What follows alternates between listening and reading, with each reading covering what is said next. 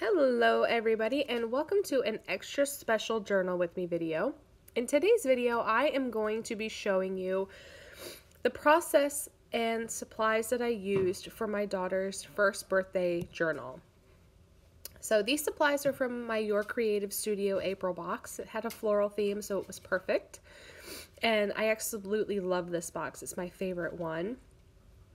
This is my dried flower binder. This is a sticker book I got from Tuesday Morning that is very girly and some washi tape samples. These stickers are from Cafe Analog. These papers are from Sora Ahsan. These are Andy Reese's or My Storied Pages printables. And then these are just supplies. These papers also are from Sora Ahsan. And then these stickers and papers are from Cafe Analog. And then just a random assortment of stickers from my stash. So if you haven't picked up on it already, those are from Stickii Club. Love their stickers, by the way.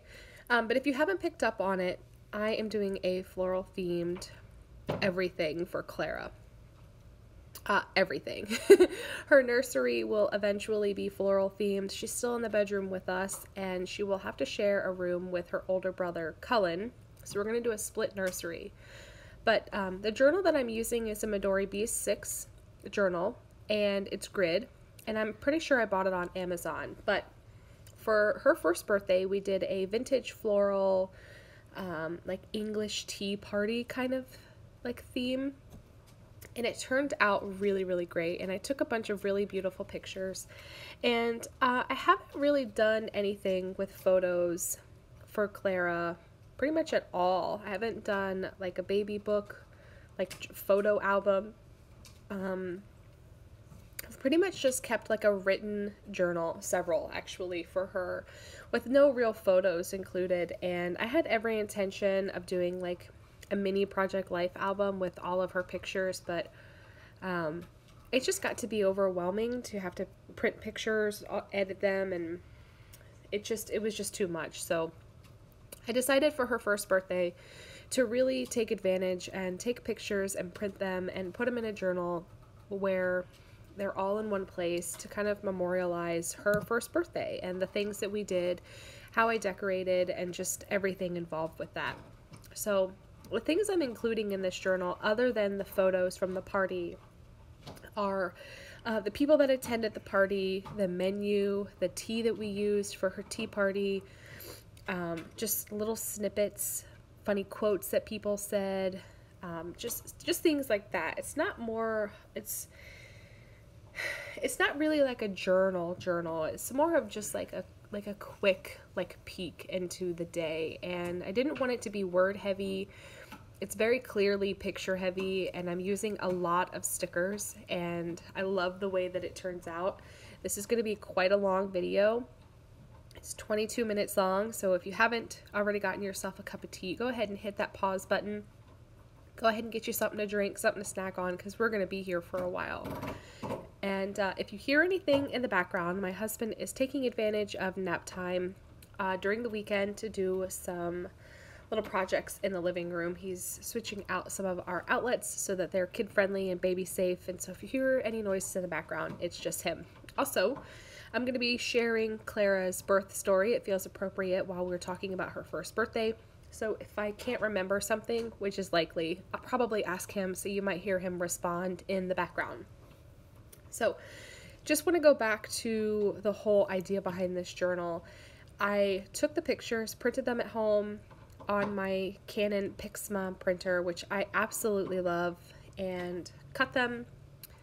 Used a like fancy corner rounder. It's like a scalloped corner rounder. And then put them in order on the pages of how I wanted it to be, keeping in mind to leave space for journaling and all the other things. So I love these printables right here. These are, like I said, from My Storied Pages. They are a printable that I purchased off of Etsy from him, and they're absolutely beautiful. He actually is the one who did my um, rebranding. When I rebranded Skylar Hand Studio, he actually came up with my logo and my branding, and I just love it. He's amazing. If you ever are looking to hire someone to do your branding, you should definitely consider him. He's a great guy and very talented. So, moving on. I also made her cake that day. Uh, she actually had several cakes. She, um, her birthday was on an actual Thursday. And we did a little small family dinner on Thursday where she had a cake, obviously. And then on her actual party day, she had her own like smash cake. And then there was another cake that we were gonna, that I got for everybody else to share, but it was also pretty fancy. but this particular cake, her cake, um, my husband and I worked on together. So he iced it in a very like rough, rustic kind of way where like the cake was kind of showing through. And then I used dried flowers. So I used some dried roses from our own rose garden and some other pretty pink flowers that I found at our local grocery store and dried them ahead of time because I knew I wanted to do this particular style cake and then stuck them into the cake like it was kind of falling down the side at an angle and it really really turned out really fun. I love the way it turned out and then on uh, sitting the cake is sitting on top of a doily.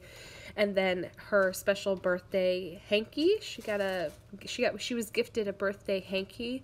And i loved it so much that i decided to incorporate it into the party just because it was very thoughtful and it was beautiful and it had flowers on it obviously. And i just love it. So turned out really well. Anyway moving on Um, so I'm gonna get started on her birth story. I it's a very obviously all birth stories are very personal, but this is super personal just because she's my last child. She's my only little girl, and her birth was just really extraordinary. It was life changing. Um, it was just all the things. So, just a little background I have four children. I have three older boys, and then Clara is the youngest and her slightly older brother Cullen is only 300 and babe what is it? 356 days? Yeah she's th- she's 356 days younger than Cullen her older brother. She was an unexpected gift. We were not planning her. We planned for all of our other children but Clara was a very happy accident. And um, it was a tough pregnancy in the sense that she um, was an IUGR baby, which basically means that she wasn't thriving in the womb. She was not gaining weight the way she was supposed to be. And um, we were high risk for probably about 70% of her pregnancy. So um, until like 18 weeks, we didn't know she was IUGR. And then at 18 weeks, we found out that she was. And then at 34 or 35, maybe even 36 weeks, somewhere in that range, she finally reached a weight um, that was acceptable to not be considered high risk anymore. And so we still had to go see the doctor, but she wasn't considered high risk anymore. She finally had reached that. Um, I think it was she. She had to be like four pounds or five pounds or something, and she had finally reached that point.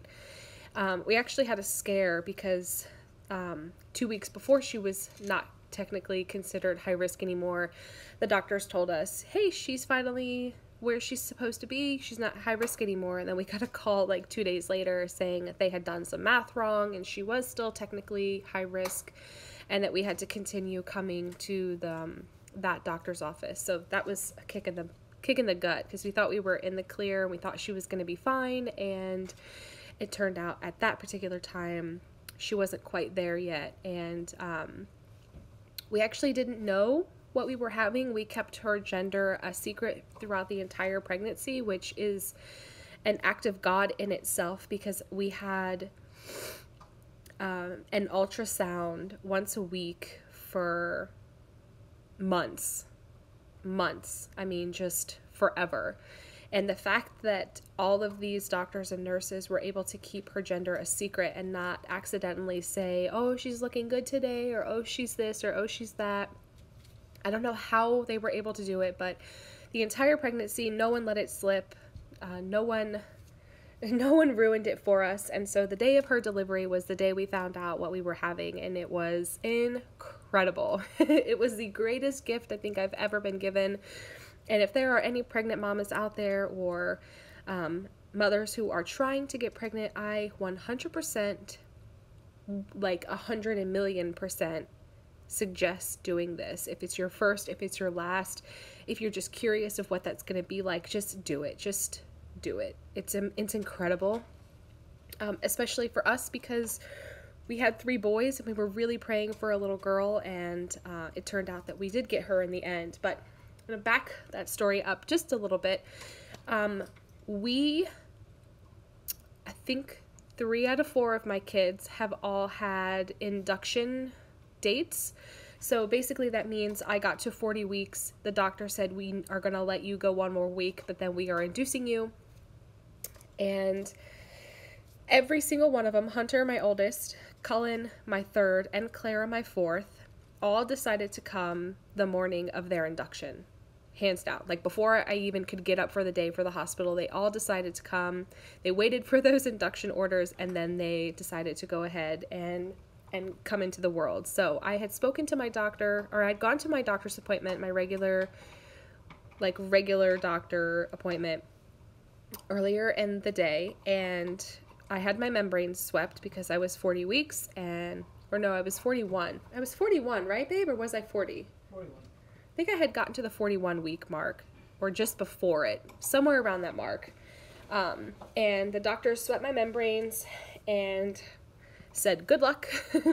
Hope this works, and sent us on our way. And um, my doctor called me later in the day and said, Hey, listen, I'm actually going to be on call tomorrow. Um, I won't be on call for your induction date that was set for like later in the week. So I, I think it was like just after 40 weeks. And so they had set the induction date for 41 or something like that.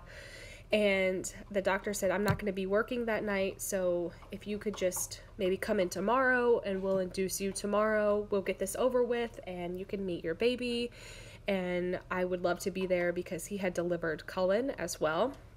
And so we had really, I mean, our preg- my pregnancies were back to back, and so I saw the same doctor again, and he really wanted to be there for my my um, my second delivery with him. And so I went home, relaxed, did nothing all day except for call my mom and cry because inductions are the worst. I've personally never had one. Obviously, my babies all came out right before, like the day before, the night before I was scheduled to be induced, but I have heard very scary things about them and it just wasn't anything I wanted to be involved in because I don't believe in um, medicated births. It's just a personal preference. And so, um, yeah, I didn't I didn't want to deal with an induction without medication, and I have done it three times, and I didn't want the fourth to be that one time that my body just gave out and I I couldn't do what I needed to do and had to get the um, epidural or whatever. Like, no shame for any of the moms out there who have had any type of delivery. It's just a personal preference for me. It's my own personal beliefs. I don't believe in extra medications or anything like that. So, um, Anyway, inductions scare me, and I just didn't want any part of that, didn't want to deal with it. And so I called my mom and cried all day long, and I called my husband and cried all day long, and we went to bed that night, and around 11 o'clock, it was around 11, babe, right? It was like 11, 12, or just after 11, something like that. I started feeling contractions and we were laying in bed. I hadn't even gone to sleep yet. He was asleep, obviously. He can think about sleeping and just already be sleeping, but it takes me a while to fall asleep, especially when you're like 10 months pregnant. But I was awake and started feeling some minor contractions, and then probably like three contractions into that, I had to start breathing them out, had to start moaning I had to get up and start walking and knew immediately that it was go time. There was no thinking about it, there was no like hesitation. I could tell that my body was already in motion, already acting, and I needed to get to the hospital as quickly as possible. Um, because they started off like three minutes apart. so we got in the car. Luckily, my grandmother was staying with us at the time to help with the babies and because she knew I was going to be delivering. So she was able to stay with all the babies at the house while we went to the hospital. And um, we got to the hospital, and of course, it's in the middle of a construction zone. And our delivery suite has its own special secured entrance. You have to go in through a special elevator, and then you are immediately stopped by special security, and it's a whole thing. And my special elevator was completely blocked off from access because it was in the middle of being like a construction zone. And so there was nowhere to park. My husband panicked. He got as close to the door as he could and i just got out of the car. Just bolted and started waddling my way to this door because i knew it it was go time and so i'm waddling through my husband is panicking trying to find a place to park that the car isn't going to get towed and in the span baby how how much distance was it from where I got out to the van or the I mean the the door? Like how many times did I stop to have contractions? It was at least 150 yards of construction. Yeah, he says it's 150 yards of construction, and I like stopped. Active construction zone, like a ripped up road. they were laying sewer pipe. The Yeah. curbs were all undone. There were no sidewalks. there was no sidewalks. It was an actual Pipes. The road was ripped up. There was mounds of dirt everywhere. And you just went running through. it. and I just bolted right through it. Like, I could see the tower. I need to get to that tower, so I went for it. So, in 150 yards, I had to stop three times to breathe through very powerful contractions, if that gives you any indication of how quickly things were moving. So, because I had to stop those three times, my husband had the time to park the car and find me in this No, I- construction zone. I left it where it was. Oh, did you leave it? That's how I know you went through the construction zone because I was tripping over shit. I didn't. I thought you had parked it. That's funny. I was, Um, only, I was only 50 yards behind you. That's funny. So we get into the elevator, we get up to the door, the deck, uh, we get through security. I had called ahead and said, hey, listen, here's my name, here's my information. I'm an old pro. I know what's happening to my body. Things are happening. I need to, like, I need to have someone there available because they have, like, protocols and um, they a lot of times make you wait. And so, anyway, we got to the hospital at midnight. We get straight through security. There was no waiting, nothing. Um, they tried to make me go to the like what's the triage room, and we didn't even make it to the door. They were like, "Yep, nope, you don't need triage. You need to go straight to a room." So I went straight to a room. They tried to get me hooked to IVs. My body doesn't do well with that. Um, the IVs don't work in my arms, and so the nurses were having a very difficult time. They how many times they prick me, babe? Like six? I think it was like three times in each arm, right? three in each arm. Yeah. Tried the top of your hand. Yeah, it was three times in up. each arm, and then they tried the last like seventh time they tried to get it on the top of my hand. My body was not going for it. I must have been dehydrated or something. So I'm actively laboring while I'm getting pricked all these times, busting veins, holes all over the place, blood all over the place. It was a mess, but eventually they left me alone because I had warned them, "Hey, listen, uh, my body doesn't do IVs. Just like leave me be." Of course, they didn't leave me be. So, um, anyway, I get on a birthing ball. I'm on the birthing ball for probably 20 minutes or so, and doctor decides to come in and check me, and suddenly it's go time. I'm on the bed, stirrups are up, and it's go time. I won't go into too, too many details because, like TMI, but um, only a few pushes. Babe, how many would you say? Two proper, like, contraction pushes, or No, it was it was uh, three full sets of contraction. it was three contractions I pushed through to get her out. Um, but we had to think that we had to we had to slowly go through it, right? Because Well, the doctor was super concerned because of how Cullen came out. Yeah, so Cullen came out with some issues, and so the doctor was pretty concerned about uh, delivering.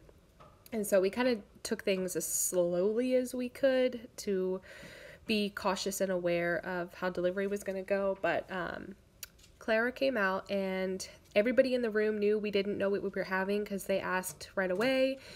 And that information is in my charts, but when we said right away that we didn't want to know what we were having, everybody was super excited and they knew we had three boys. Anyway, Clara comes out and they're holding her up, but her umbilical cord is hanging between her legs, so nobody could see. What, we couldn't see what she was, and so we're just kind of sitting there like, uh. um, so they move the umbilical cord, and we see that she is a gorgeous little, beautiful, perfect baby girl, and we scream. and I just remember screaming, Oh, I finally have my little girl, and just bursting into tears and just holding her as hard and tightly as I could. And it was beautiful and perfect and quick. She was born at 111. My first contract contraction was just after 11 p.m. and she was born at 111 a.m. So quick delivery. quick labor, quick delivery and it was absolutely beautiful. It was a beautiful labor. It was a beautiful and easy delivery and I just oh, I love it. So I hope that you guys have enjoyed this 22 minute video and the process of watching me play with paper. Um, this is just a quick base. I'm going to work on these pages a lot more, but um, this was just a quick laying all the pictures down with supplies and once I'm actually finished with it I will flip through it again so that you can see the finished products product with all the words and the journaling and all the extra bits that I do decide to add after the fact. Um, but yeah, I hope that you have enjoyed this video. I tried to fill it as best I could with my story so that you guys weren't just sitting there idly for 22 minutes. If you have any questions, like always, please feel free to leave them down below. If you're not subscribed, I would encourage you to do so. It would make me feel very special because I would know that you wanted to be a part of my community here. And I will catch you guys later. Thank you so much for hanging out with me. I'll catch you later. Bye!